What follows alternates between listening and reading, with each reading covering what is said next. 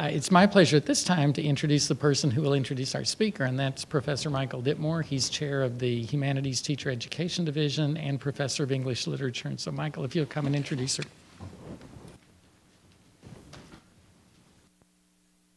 Well, it is my distinct pleasure to introduce this evening's lecturer, Dr. Karla F.C. Holloway.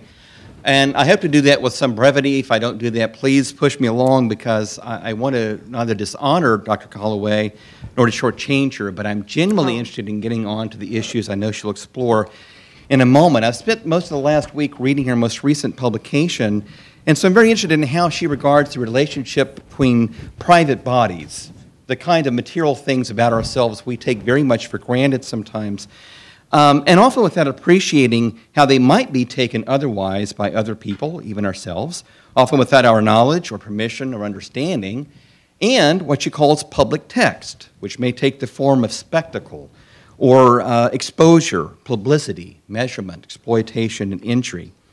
And then how the law makes this transformation happen. Um, I found myself page after page provoked and stimulated in countless ways. Dr. Holloway, for instance, moves very neatly, masterfully, and powerfully between, on the one hand, very difficult bioethics cases, that of Terri Schiavo, most more recently, or the Tuskegee study of syphilis in the Negro male, or the Rhinelander annulment scandal of the 1920s, among many, many others. And on the other hand, examples of fiction, such as Octavia Butler's Bloodchild, oh. Kate Chopin's Desiree's Baby, Kazuo Ishiguro's Never Let Me Go, and Walt Whitman's Song of Myself. Dr. Holloway explores bioethical predicaments of identity, personhood, privacy, autonomy, and race and gender in ways that are clear and accessible, and yet also deeply engaging and engaged.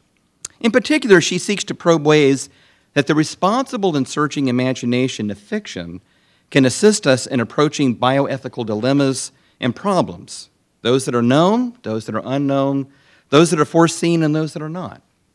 She tackles with great depth and lucidity profound and enduring issues, but also problems that have persisted far too longer than they ever should have. Let me mention two brief highlights of Dr. Holloway's career. She received her AB in English from Talladega College, then an MA in English from Michigan State University, and later a PhD in English and Linguistics from Michigan State. But additionally, and this is very interesting, she holds a Master of Legal Studies from the Duke University School of Law.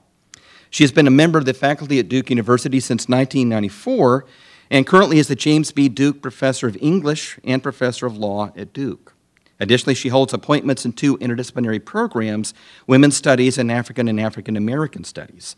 She also serves on the Greenwall Foundation's Advisory Board in, bio, uh, excuse me, in Bioethics, as well as the Hastings Center, which engages in nonpartisan research and bioethics and public policy.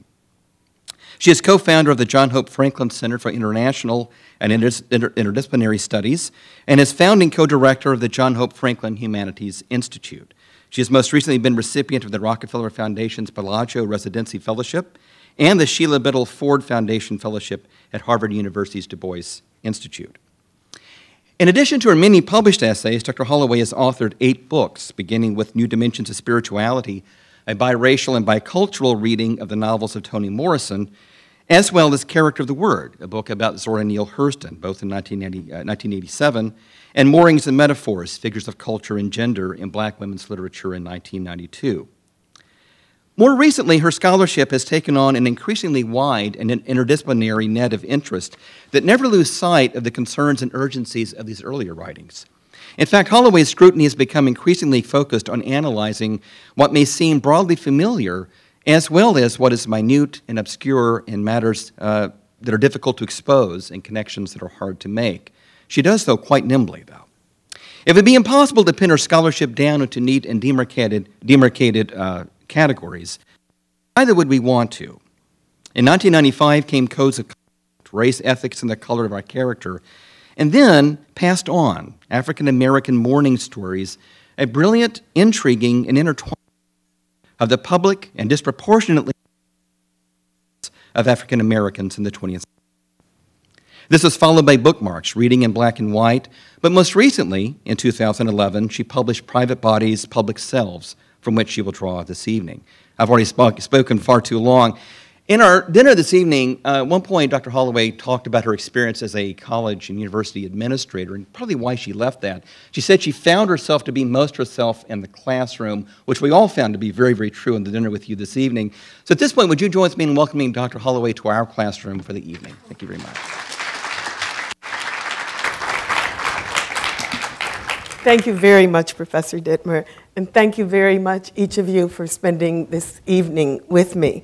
This talk is somewhat of a postscript to private bodies and public texts in its critical thinking about the socialities and legal origins of certain kinds of public notice, especially those that are fixed on race and gender.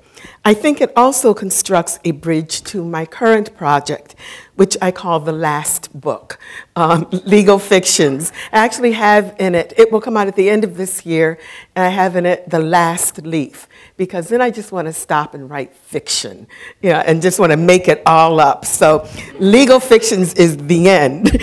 but I appreciate very much the opportunity to share these thoughts, because this is my chance to sort of think about the bridge that you have already so neatly constructed for me and made me feel consistent. So thank you, Professor Dittmer.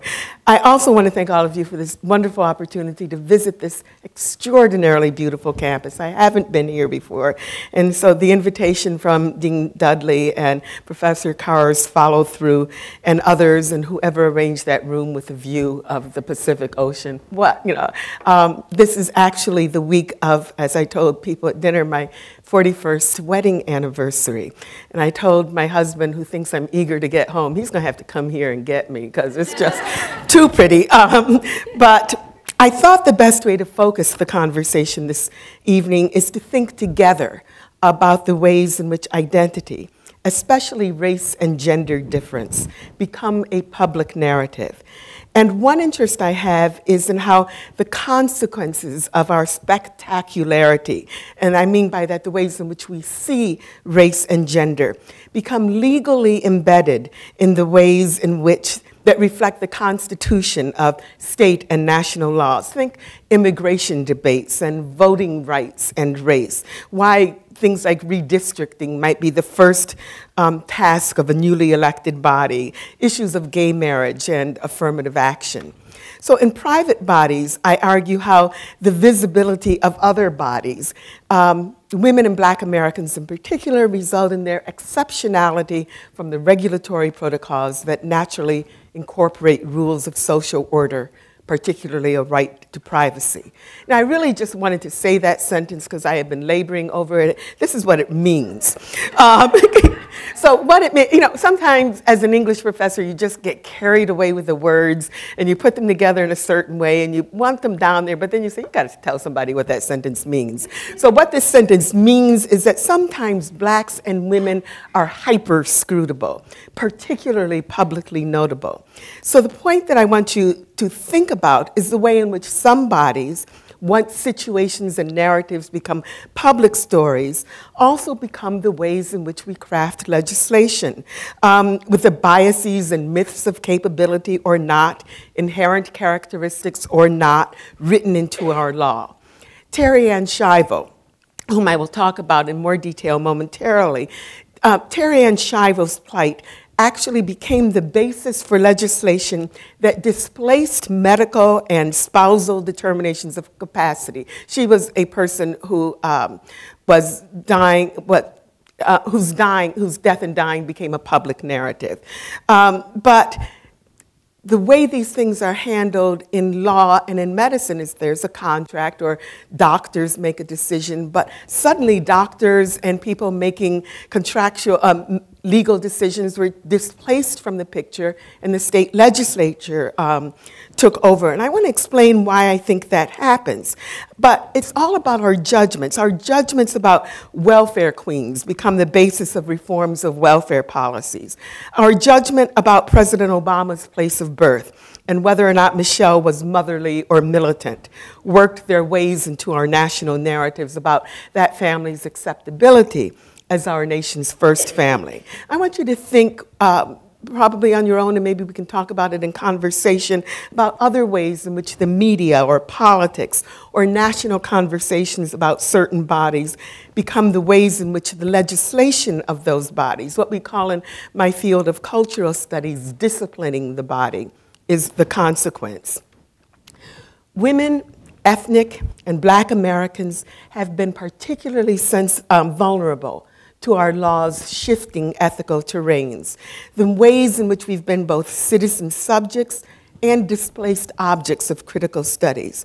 We're also the sites of social change and subsequently legal change. And I'll reference here for you quickly the Tuskegee syphilis study. And this is a study that was 40 years long. It was revealed in 1972 as a project of the national, that means federal government, health service that left, and no, no, matter what, how many of you have heard of the Tuskegee syphilis experiment, right?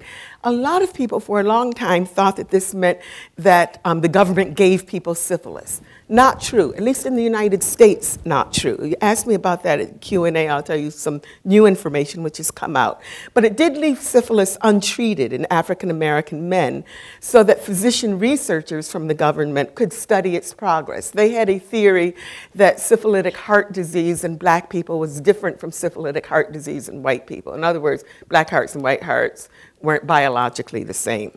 And the result of the study's discovery was a report, the Belmont Report, or this, the, the, fact that the government was doing this and not treating syphilis, and it could have. Um, the establishment of the Office of Human Research Protections framework for what we call IRBs, Institutional Review Boards, which are now managed by the U.S. Department of Health and Human Services, HHS. Now, this is, a, as Martha Stewart would say, a good thing. A good came out of this. But consider also the consequential focus on black male sexuality, the intimate medical information, the script it sort of creates around black males, their health, their conduct, their bodies. In other words, federal regulation emerged from the spectacle produced when the heinous examples of bias and medical malpractice came under public scrutiny. But black male bodies became the apparatus by which the legal procedures managed change and were stripped of their privacies.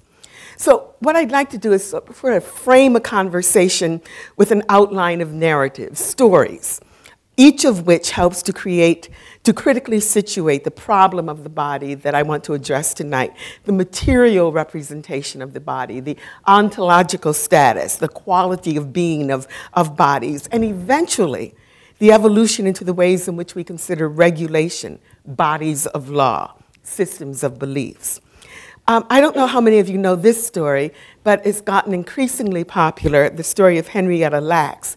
She's actually um, been a case study in science, medicine, law, literature, US studies, a very interdisciplinary subject, in the same ways in which cells, and those of you in the sciences might have worked with tissue cultures which were formed with HeLa cells, HeLa coming from Henrietta Lacks. Um, university after university, college campuses across the United States have made a very popular books about her science and society. The book called The Immortal Life of Henrietta Lacks required reading. It's been widely popularized in book clubs across the United States, made the New York Times bestseller list for consecutive weeks. If we know Henrietta Lacks academically, or if we use her narrative as cultural studies scholars, we get attuned to what we might call the politics of her life. Recently, the American Studies Association president spoke about her in an annual address to the association. The utility of Mrs. Lacks, herself and her story, as a sort of commercial exchange that informs the politics now of US studies, is, I submit, specifically located in her body residing outside of normative protections. She's instrumental. She is an available story as well as an available body. As we rehearse the history, most often with significant errors of fact of what happened to her. What happened was that cells from her tumor were harvested. This happened to every single patient, black or white, that came into Johns Hopkins Hospital in the 1950s. And yes, there were segregated wards then, but they didn't choose Henrietta Lacks because she was a black woman. They chose to take her cells because she had a tumor. And they took cells from her tumor not from her. So when people say, you know, is she still alive today in her tissue cultures, I want to say it was the cancer they took the tumor from. You know, this is not her body in the same way, but her story has been instrumentalized. And this is a very famous book now, but it also includes intimate details about her family's lives details that don't seem necessary at all to reveal if the journalist who wrote it was only concerned about the ethics of what happened to the tumor cells taken from her body, how much money has been made from them, how medical sciences um, made vaccines from polio to other vaccines using HeLa cells as a basis of it. In the past few years, Henrietta Lacks gave many of us in American Studies an opportunity to focus on the rich landscapes of our new favorite words bio-slavery, biopolitics, biopower. I've got to admit, I like them too, you know, I like inventing words. But Henrietta Lacks is the available coordinate here. It gave us an opportunity to further distinguish her humanity from the science and sociality of her cell line to the extent that made that very popular book possible. With each telling of the immortal life, the intimacy that is revealed is not so much about the cell line of Mrs. Lacks, but her private medical records that report the medical and personal circumstances that contributed to her disease. And more critically, the diminishing capacity of her daughter, who finally trusts a reporter whose own professional interest turned her turned Henrietta Lacks's life and her daughter's into an open narrative for public consumption. Um, this is a slide I found of a group of college students who made one of those giant cutouts, you know, get your picture taken with. And I thought, what a wonderful example to show how commercially appealing she is. And yet, this was a woman who went into a hospital and who died and had no idea of how public her story would be. It was and it still is an extraordinary displacement of the private as we consider her unattached value. But it's not remarkable at all when we consider the private as attached to bodies that seem to have less social value than they do biosocial, ways of clarifying our interests and presumptions about natural persons, those to whom the rights of privacy normatively adhere.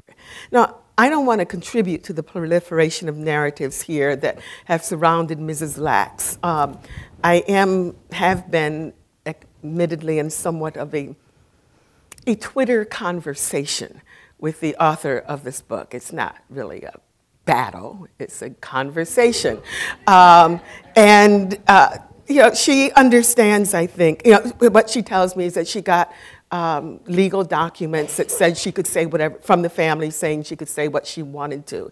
And as a bioethicist, I'm saying, so what is the capacity of the family to agree to do this when what you want is a story of what happened to your mother and if this is what I have to do? So we have some disagreements. Uh, but, so, but I try to make them pretty straightforward, and I don't want to use her as I think she has already been used. Uh, what privacies have been lost in the ways in which we actually make a spectacle of the bodies that have been disenfranchised in order for some legal or other process to find its way to them. But the issues that I think will link Mrs. Lacks to the other stories I want to share with you is the way in which her body fits those others who become open and available to public scrutiny without normative boundaries of privacy as a part of our text. So, in Private Bodies, I invite readers to consider the case of Terri Ann Schiavo, who lay dying in a nursing home 15 years after an accident, an automobile accident. Um, I'm sorry, not an automobile, an accident in her home left her in what um, physicians call a PVS, persistent vegetative state, legally and medically determined to be no longer alive, kept alive by artificial means. Right to Lifers staged a vigorous battle outside of the nursing home where she lay dying, clamoring that they and the Florida legislature knew better than the person legally invested with the power of a surrogate decision maker, which would be her husband, to make the final decision.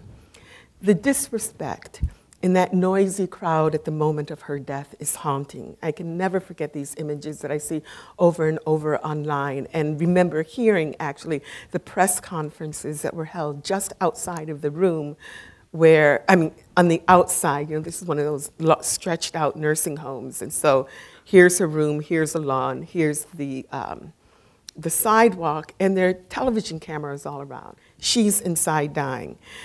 Florida's legislature intervened in their husband's determination to end the medical care the doctors had described as futile. Futile is a medical, a medical word that doctors use when they say there is no more reason for treatment. It, there is medical futility.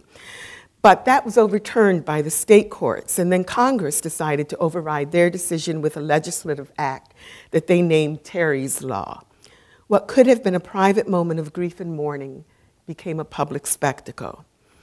One thing I want you to consider is whether or not a man in this persistent vegetative state would have engendered the same public support.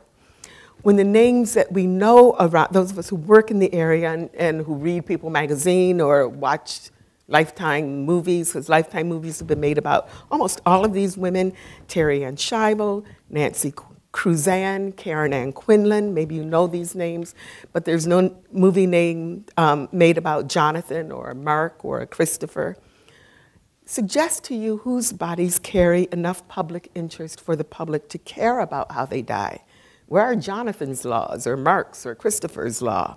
And if you are thinking here, this kind of public interest is similar to the story, the interest that follows cases of women and girls gone missing, some who are newsworthy, and others whose names we never hear, we notice there is a division of gender and of race and of ethnicity for those who earn our public regard.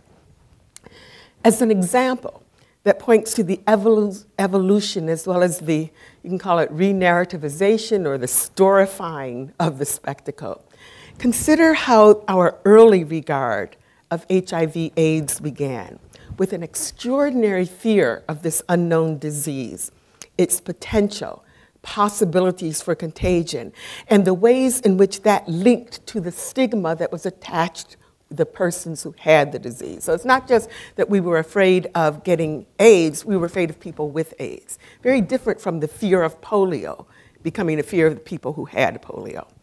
Over the years now, the narrative has changed from a focus on an already stigmatized sexual minority and to an already stigmatized continent than it was the disease from Africa, or in some narratives in the US, the disease from Haiti. But this happened in part because someone whom we did trust the public story, a princess, Princess Diana, actually touched a man with a disease. You'd have, excuse me, you'd have to have been there to know what a That was a Marco Rubio moment, wasn't it?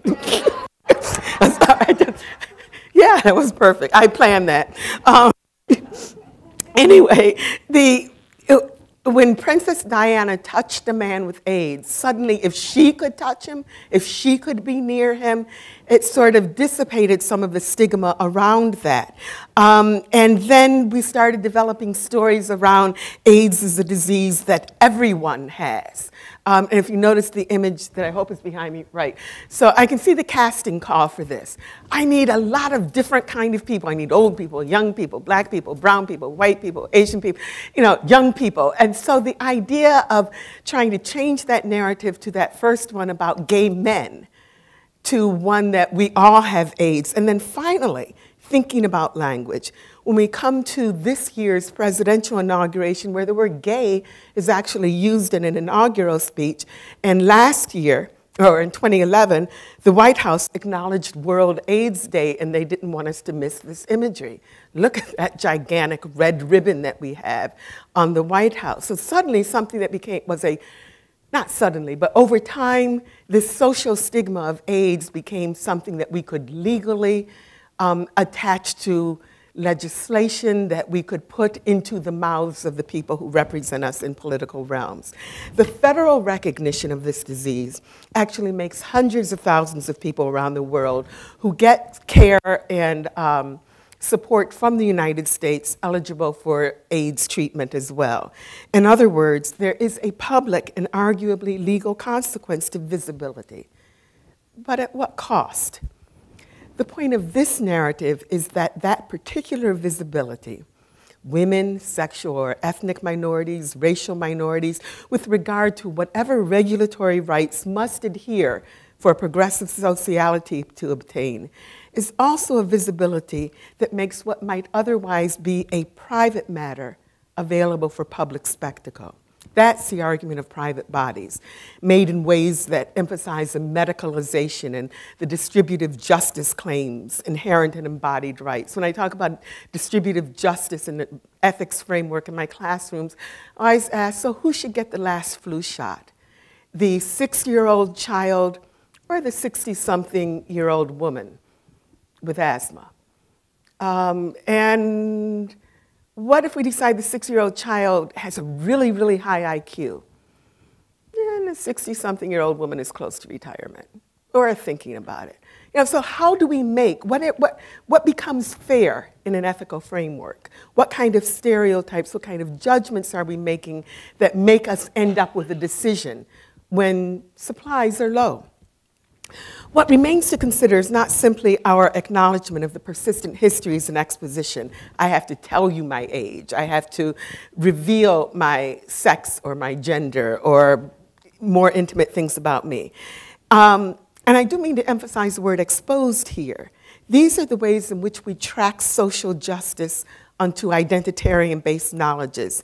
And they place our own political desires squarely into the mix of institutional, legal, and social structures.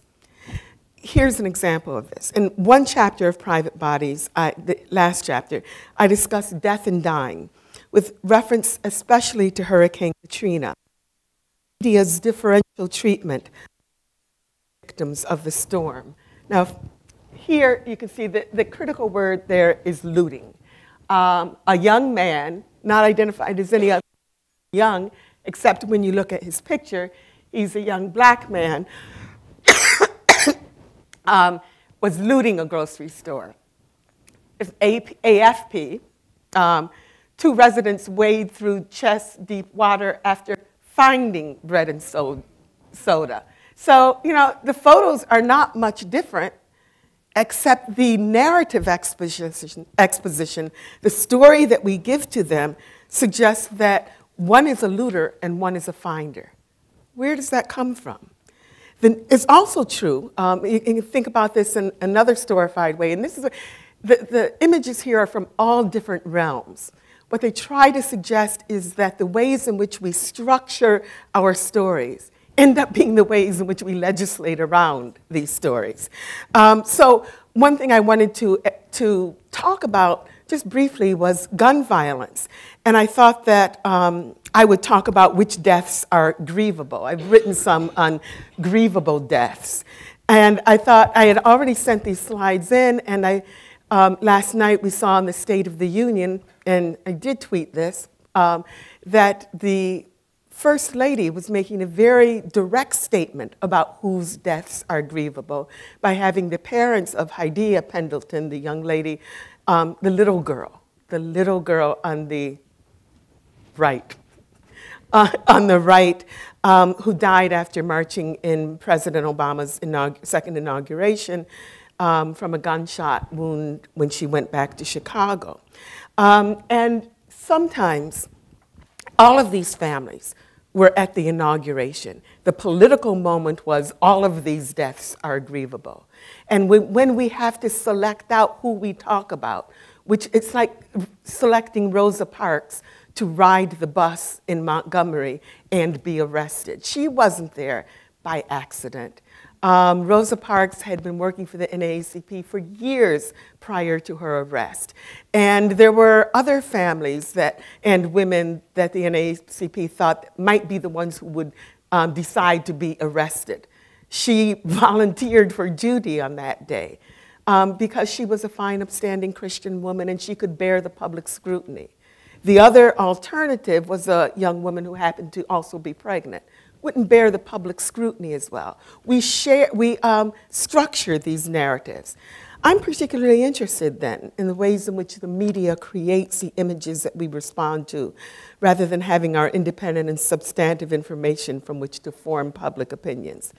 And I'm interested in the ways some persons' privacies, vulnerable populations that are affected by Hurricane Katrina, or the children and their families in Newtown get swept into the national news without a consistent or respectful regard for one of the rights that we argue is fundamental to our integrity, to our Constitution as citizens, our incorporations as persons, the right to privacy.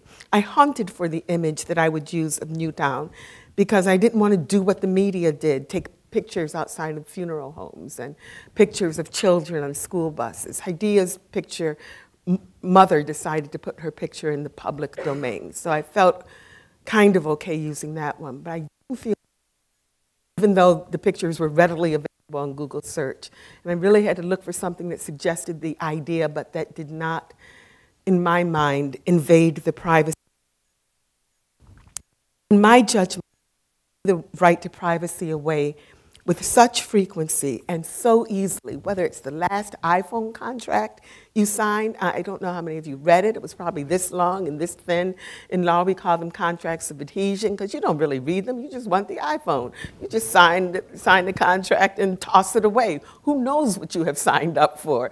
Um, but we've given away some privacy with that. Facebook accounts, um, Instagram photos, and yes, Twitter. Um, I do have some concern about being on Twitter and the privacies that I give away there. I try to keep it professional. Every once in a while, something slips in, and that's how we lose these rights.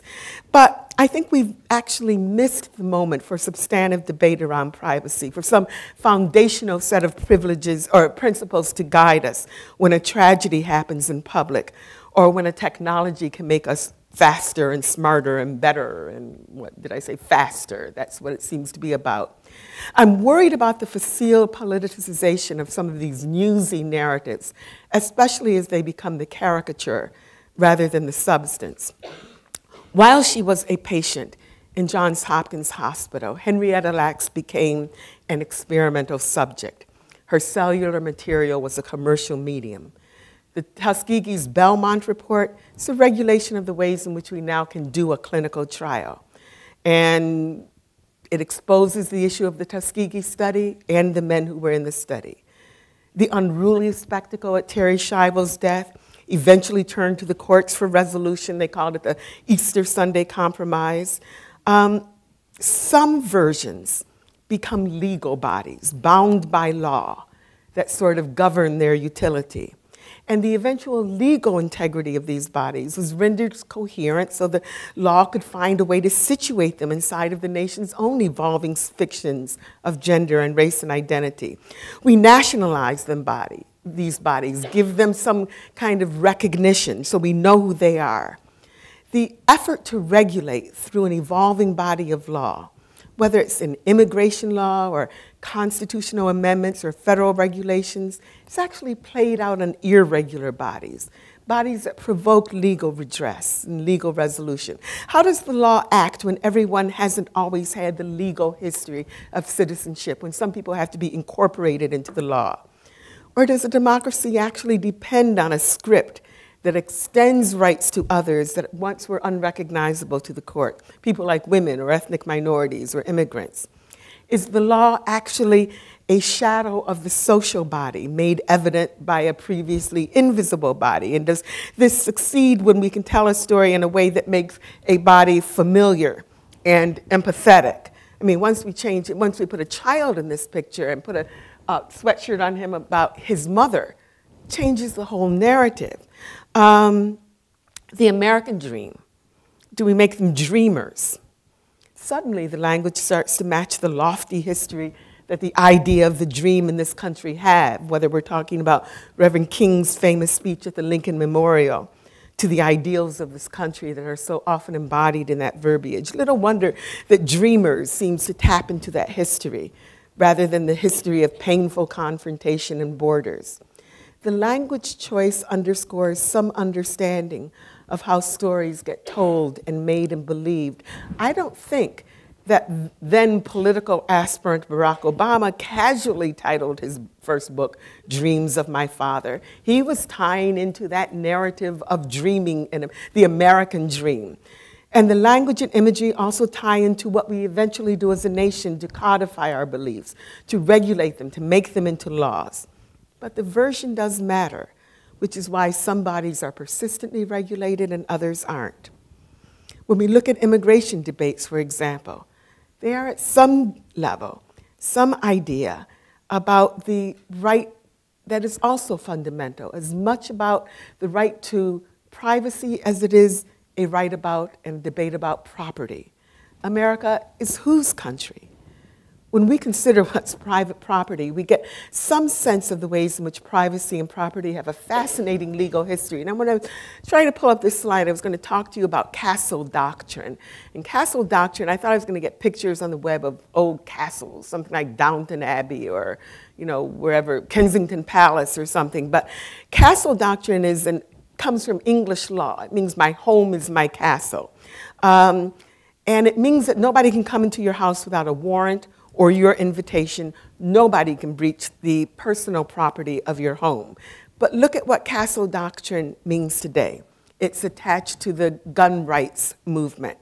And this kind of thinking underscores for me, even subliminally. So, your right to property, your home, okay, the argument about a woman's right to her own body, is that her property in the way that our house is a property? And then when the construct of fetal rights comes into the picture, and we can reasonably think about state responsibilities to protect its citizens, so is a fetus a person subject to the protections like the protection of property? Is it a citizen? Where do its rights lie? Does it have rights?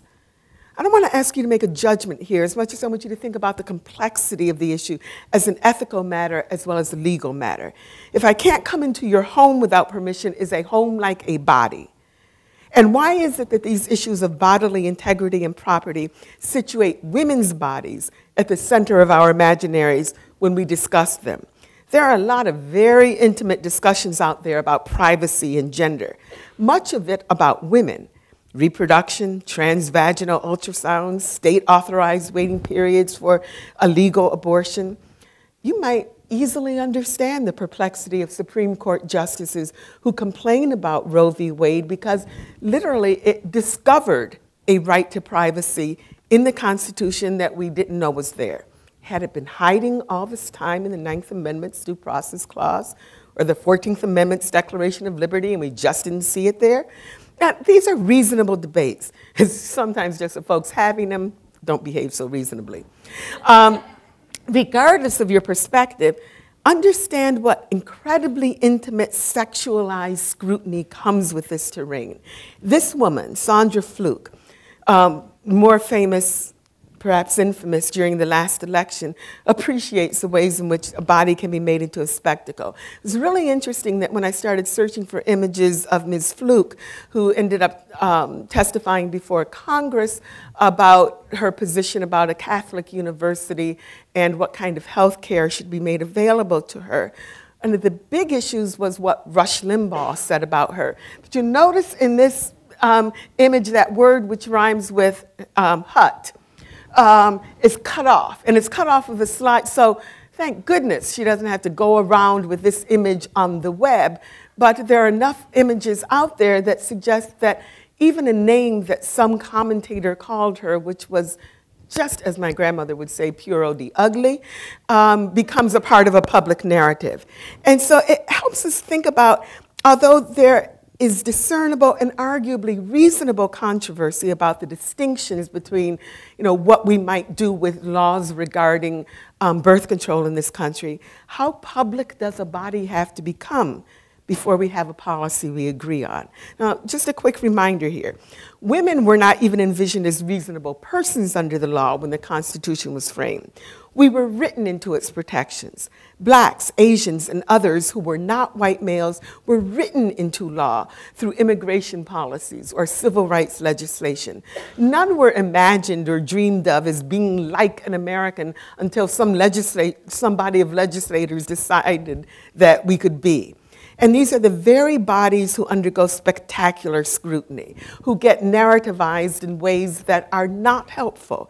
Asians as model minorities, black children who literally placed their bodies into public lines in order, into public in order to secure rights to education, voting, and integration. How many children do we have to, did we have to lose? The four girls in Birmingham before we decided that the civil rights legislation was a good thing. Gay rights and dreamers fit into an already available narrative of some bodies in America. Once they are visible, earning a particular right of reasonable, regular persons. We're more alike than different, according to the Human Genome Project.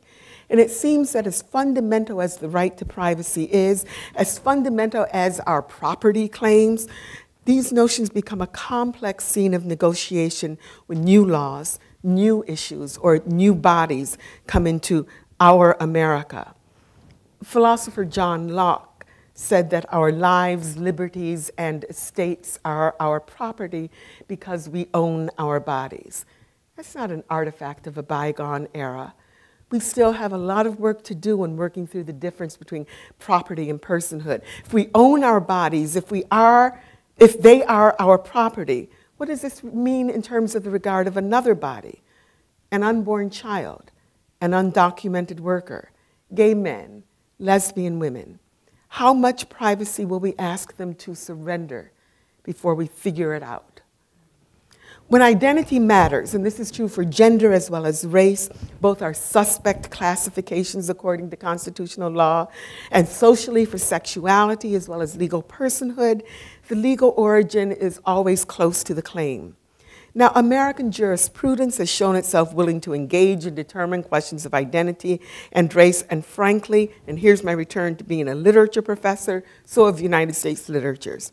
Think about the titles of some of the classic texts by writers whose identities might fit into the categories. They just weren't writing Invisible Man because I thought that was a good title for a book, or Native Son, or When I Was Puerto Rican, or How the Garcia Girls Lost Their Accent um, native speaker or No-No Boy. One of the things that happens in American literature is that people end up writing these stories about identity and constitution of identity and privacy because we're still figuring it out as a national narrative. Um, and one of the ways to trace our story of a nation is to look at the stories of our nation, our fictions. Sometimes they are fictions. Other times they're facts. Oftentimes they're a cooperative venture, and that's what I like to think my legal fictions is about. By the way, does anybody recognize what the scene is on the cover of this book? This is not the real cover of the book. This is just my idea about what a good cover would be. They haven't shown me a cover yet, so I'm still imagining ideas. But can anybody recognize it? it comes from a famous book. Not Alice in Wonderland. Uncle Tom's Cabin. See Uncle Tom there? And there's little Eva, and I'm thinking that's about a legal story as well as literature and publisher. Wouldn't that be a good idea? They haven't gotten back to me on that yet. Um, but our literatures have consistently reflected and creatively engaged America's shifting social judgments. I write a lot about if you want to know the story of the law, go read a novel because the novels tell us these stories in long, thick. If you read Uncle Tom's Cabin, you are so tired of reading Uncle Tom's Cabin, by the time it's over, you could have written the book. Same with Richard Wright's Native Son, but we learn something about Chicago housing projects that we never would have known before.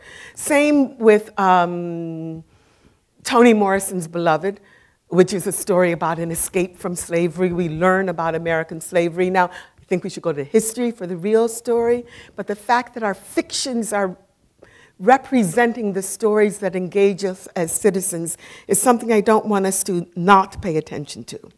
One last story.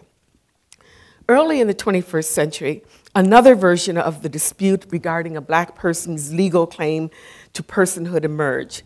This time, it was the spectacular body of a president whose claim to his office was disputed by some on the spurious basis of his official personhood residing outside of the law that would permit his occupancy, a property claim, of the law of the president, of the office of the president.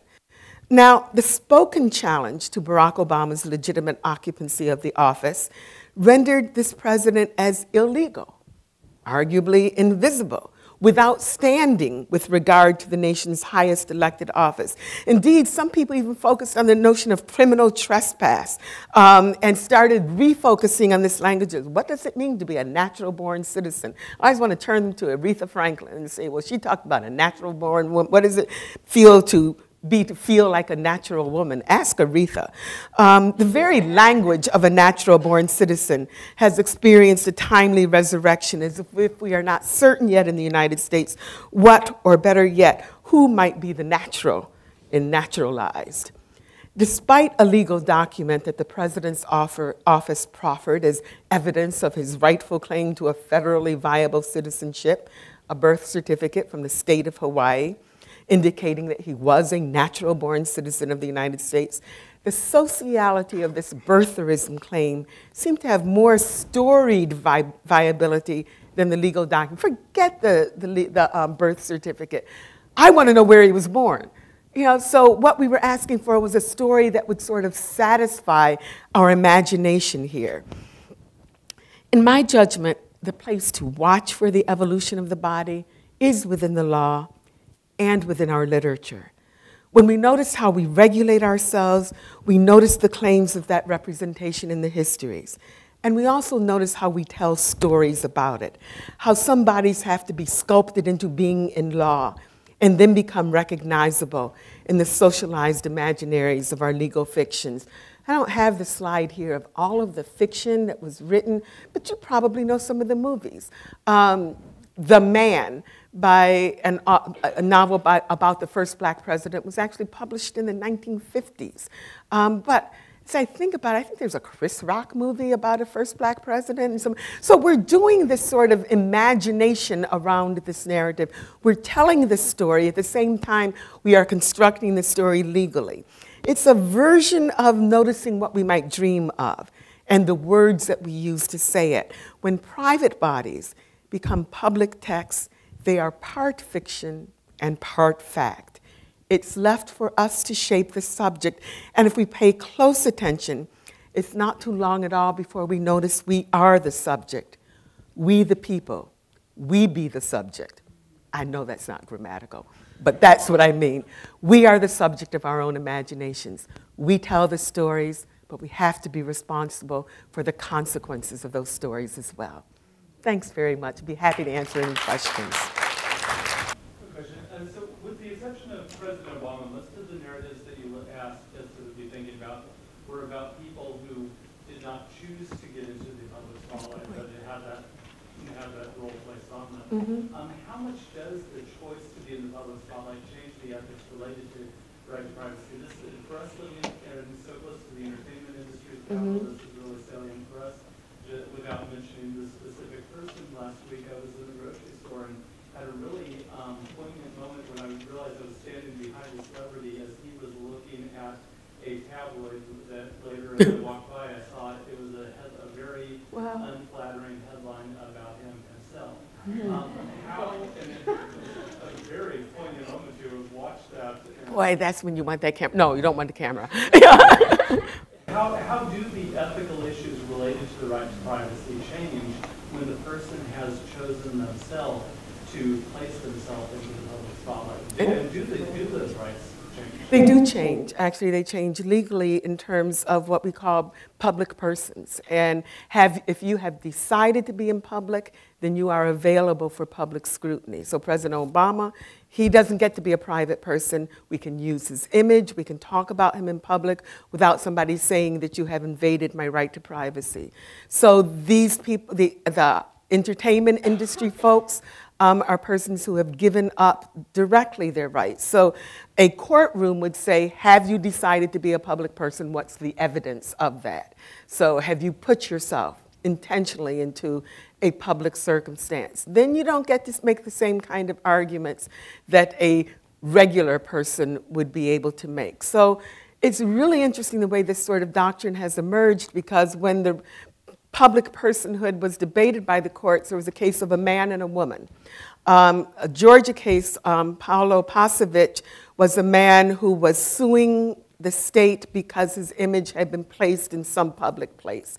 And the court supported his right. Uh, states had rights to privacy law before the federal government did, and said, yes, you have an invasion of your privacy. When a woman, um, Abigail Roberson, made a similar claim in the same era, she was determined to be much too pretty to um, complain about being on the box of cereal that she was placed on. And it was a very flattering image, so just go home and, and be happy that you got that image. So there was very gender difference in the way the courts looked at it. But since then, the evolution of privacy laws have depended exactly on that point you make intent You put yourself out there, I can talk about you. That's why Beyonce, you can't take those pictures of you off the web. Um, y'all don't know that story, do you? Um, well, for those of you who do, her publicist doesn't like some of the pictures of her. Well, you know, once they're out there, they're out there. But she doesn't have a right to have those pictures removed in the way that um, some of us might have the right to say, I don't want pictures of me out in public. It's a good question. Thank you. Can I add, um, what did you think about Whitney Houston's, um, her body line in that space while they had a party? Oh. Or how the news began to talk about her body. At the party in the year before Clive Davis's. Yeah. I only know these people because um, I read all the same. Yeah, it's part of my job as a cultural studies scholar to be informed about these issues. Um, you know, I actually did not think too much about um, that particular portion of it. Uh, you know, was it good judgment? Who knows? hmm but she was not a private person, so you know that right that you might say, well, once you die, you have some right to respect. I was thinking about her funeral and how some people were actually taking pictures of her in the casket, even though and the and there had been, you know, I think there was some investigation who took the picture, but it was, you know, with the cell phones and stuff, it's easy to do that. So there were arguably some invasions, but Whitney Houston was a public person. And so to claim that she had privacy at a certain moment is erased once you enter. You can't be selectively public and selectively private. She just didn't have it. Was it in poor taste? Probably. Um, that never stopped anybody. Not even back in the day.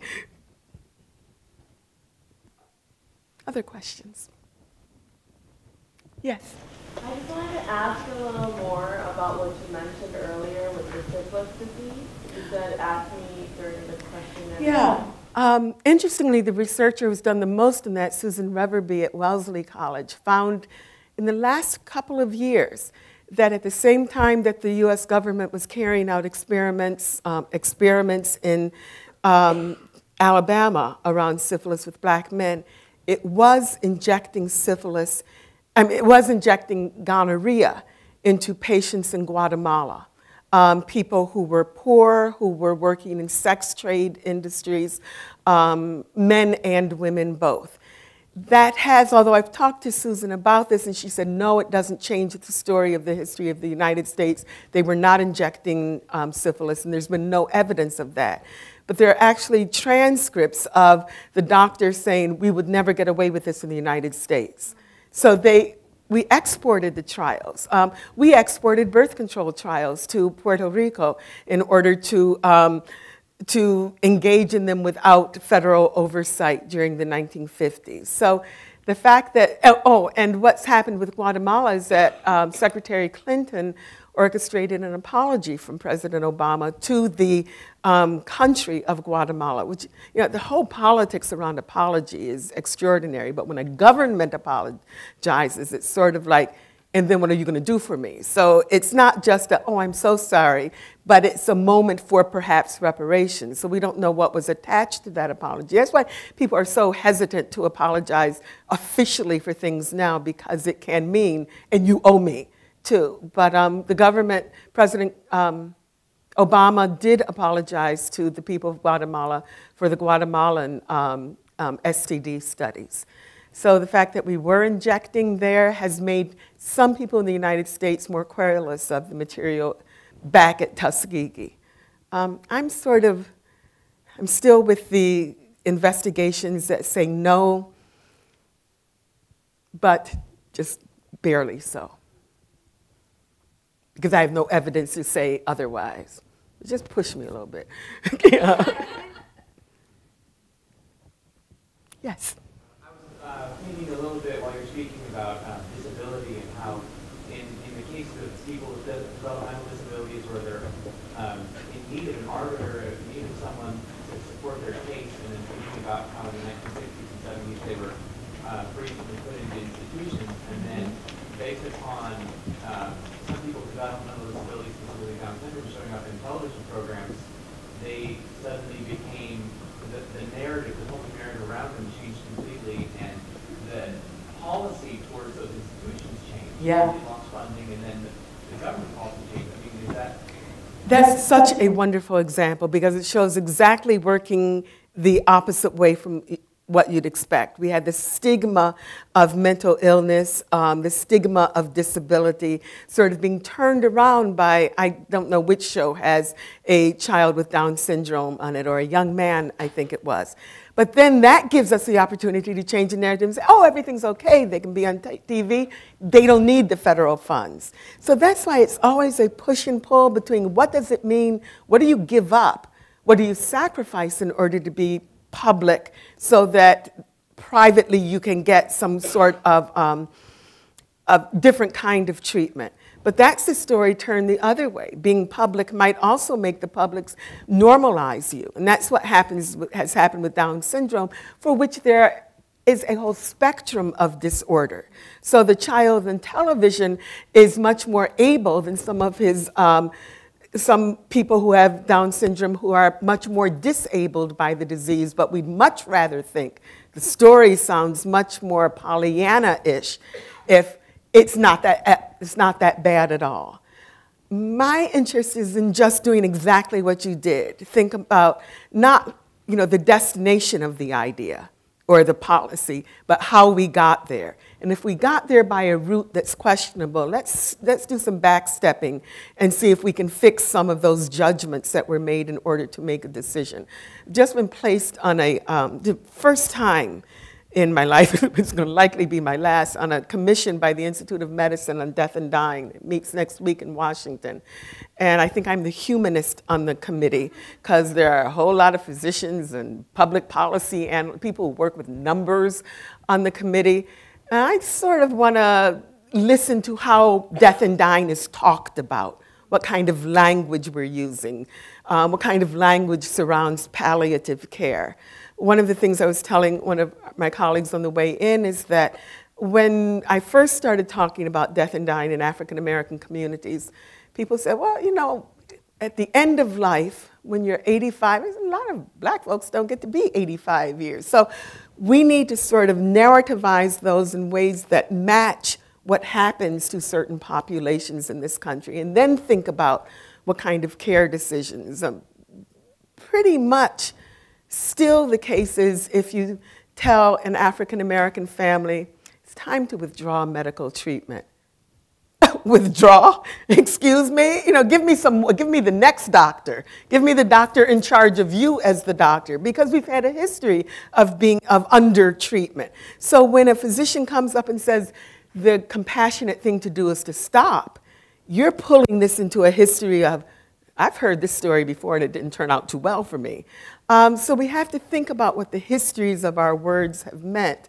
I often think that um, A and D, a natural death, is much better language to use rather than physician assisted death or however we're talking about it. But we talk about natural, let a person die naturally rather than taking away the tubes and whatever. We might at least make one of those leaps. But it's a really good analogy you made to disability.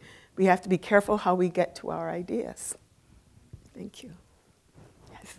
Dr. Holloway, um, one of the first things I got when I woke up this morning was a push notice from CNN mm-hmm. that the, the incinerated remains of Chris Dorn's body had been found. So this evokes to me lots of questions about criminalizing, mm-hmm. right? So if I think about what you said about some of the narratives that unfold about certain kinds of bodies and the linkages to public policy, how, how would you explain or talk aloud about mass incarceration as a public policy, right, that is, that is um, creating a narrative that says a lot about us as society? I'm just curious yeah. when you riff on that because I, I think it's a, a, a fascinating script publicly that's playing out in very tangible forms of, of policy let me, let me get to it a, little bit roundabout because I was looking at how successfully families who were the victim of the shooter, not in Aurora, but the guy with the red beard, um, the next, not, not the movie theater shooting, the, forget, it was a mass shooting just before Newtown. Does anybody remember Which one I'm talking? Pardon me? Maybe it was maybe it was the Aurora shooter then, and not the Sikh temple. So, the family said we don't want to see pictures online of the um, person who killed. We want to see the pictures of our loved ones. This was even true in Newtown too. So suddenly there was a displacement of um, instead of the images that we have seen recently of James, I think his name is James Dorner. Um, um, those families were able to get that picture off and put my loved ones on. CNN especially was attentive to this. Now, nobody, I, I, assume nobody asked that in this situation because over and over in the last few days, I've just seen this man's image on. So I've been thinking about it in that way, in which um, that imagery was not controlled by a public narrative, we want to talk about our loss, but a, a private narrative, we want to talk about or focus on our loss, but a public one about um, the person who shot policemen and terrorized their families. So that was one differential I saw there.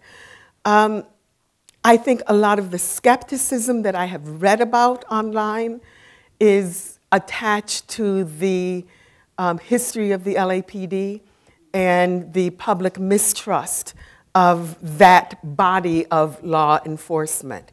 And that shows us that we have not dealt with that history if it's available to use once again and something that, and I'm just speaking as a you know, regular newspaper reader here, something that seems so um, apparent as this is the man who did the shootings in the last two weeks. So that could be a story, a distinct story all by itself. But instead, it's tied into stories about incarceration, it's tied into whatever manifesto he wrote, it's tied into LAPD history, and it's tied into that because the publicly available narrative is the narrative of incarceration that we're familiar with. It's the one that, oh, I get that, you know. And his race is not as much an issue here as is that system. So I think that the pitifulness in this story is how easily the news media can be moved from one frame of it to the next frame without any coherence around what is it as a public we should be thinking about this. Um, and I don't know that we should be thinking about this as a public. Um, I don't know that this is about the issue around gun violence. I don't know that this, I don't know how else it's been attacked. I don't know if this is about the LAPD or not.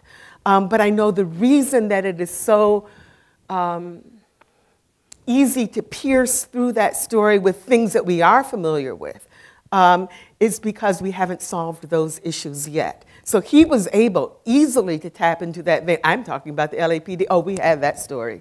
So instead of interrogating that story or wondering what that story really is in 2013, rather than back in whatever, you know, 20 years ago, um, we seem like we don't have to fill in the gaps there. I think there are a lot of gaps in this story. Um, that's the way I think I'd, I'd, like to think about it, but I could talk to you a bit more about it. I wanted to ask about um, the connection. I was just thinking after this comment about the connection between the Cosby Show and public policy. Mm-hmm. And I know after Cosby went off after the seven years, he did a study, and he studied. Bill Cosby did a study. Cosby, mm-hmm. Yeah, they did a study, and primarily the answer that came back was everything's all right with black folks. And so I'm wondering if there's a connection between all of that public policy that took place related to, um, you know, Mm-hmm. the money's coming from the federal government being cut off, et cetera, related to. That's a, that's a really interesting thought. I haven't thought directly about that. I do know, um, or I have thought directly about how much better for America it was to have a narrative about black families, how much better America thought it was to have a narrative about a black family like the Cosby rather than ones from the Moynihan Report. And so poverty sort of falls the radar because the Cosbys were ridiculously, you know, the thing that bothered me about the Cosby show was everything was always about money on that show. You know, how much this cost, and it kind of just, you know, you're not supposed to talk about money in public. So it sort of bothered me that they violated that grandmotherly norm my grandmother had. But the idea was it made us less likely to talk about poverty in America. I don't know if there's a direct correlation, but I know that we were so, we, and I mean NAACP, black folk in general, black folk in particular, were so eager to have something say, we're not that bad. We're not Fred Sanford or whatever else with Jimmy J.J. Walker or whatever other nonsense was on television. We're like the Cosbys. To displace one narrative for the other, that the harm that other narrative might have been, might have been the invisibility of those who needed our public policy attention. I think that's a very, very thoughtful perspective. I'd like to see some um, researchers suggest it is exactly that. I forget what his dissertation was about. Um, he was an interesting man. Cosby wasn't happy with those results where they just said, oh, everything's good. He was upset about that. Yeah, um, there has been a lot of talk these days about, although there was, uh, I was on something we call Duke Chat last night, which is if there's a political speech on, get on Twitter and tweet along with it. So I was tweeting my own thoughts about the speech. Um, I didn't tweet, although others were talking about, is he going to say the word poverty? Is he going to say the word poor? He did. Not in a context that I thought was, he meaning the president, that I thought was very um, deeply engaged. But at least he said the P word. And that's what people were looking for. Is he going to say the poverty word? As if that's going to move us to another place in which this will become part of a common discourse. See where we take our direction from? Whether or not he says the AIDS word, the gay word, the um, World AIDS Day is at the White House, is acknowledged by the White House or not. So that's where the narratives come from.